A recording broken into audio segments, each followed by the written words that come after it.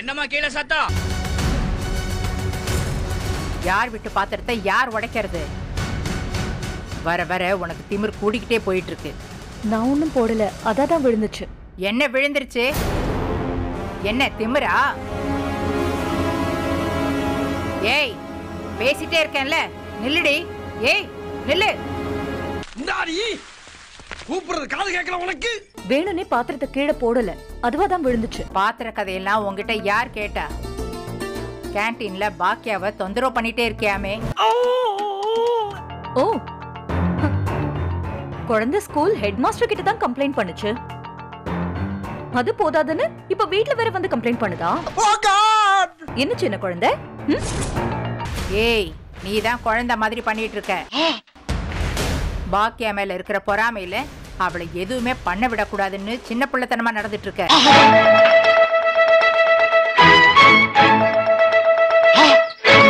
நீ எல்லாம் ஒரு ஆளே இல்ல தெரியுமா? நியாயப்படி பார்த்தா அவ தான் ஓ மேல கோவப்பட்டிருக்கணும். சண்டை போட்டிருக்கணும். கொழுத்த புடிச்சு வெளியே தள்ளி இருக்கணும். என்னடி நடிச்சிட்டு இருக்க நீ? வரும்போதே சத்தம் திருமணம் வரைக்கும் கேக்குது. ஆ? யாருக்கும் யாருக்கும் பாக்ஸிங் மேட்ச்னு தெரியலையே. கண்டிப்பா ஒரு ஆளு ராதிகா தான். வாங்க கோபி.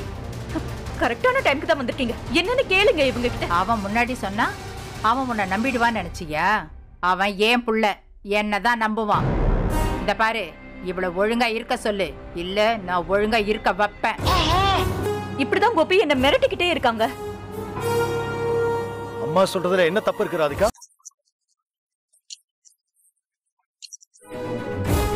நாம வரதுக்கு முன்னாடி இந்த வீடு எப்படி இருந்துச்சு தெரியுமா? அமைதியா சந்தோஷமா எல்லாரும் நிம்மதியா இருந்தாங்க. இப்ப வீட்டுக்குள்ள வந்தாலே சண்டை சண்டை சண்டை. எல்லாத்துக்கும் யார் தெரியுமா காரணம்? நீ. நீ ராதிகா.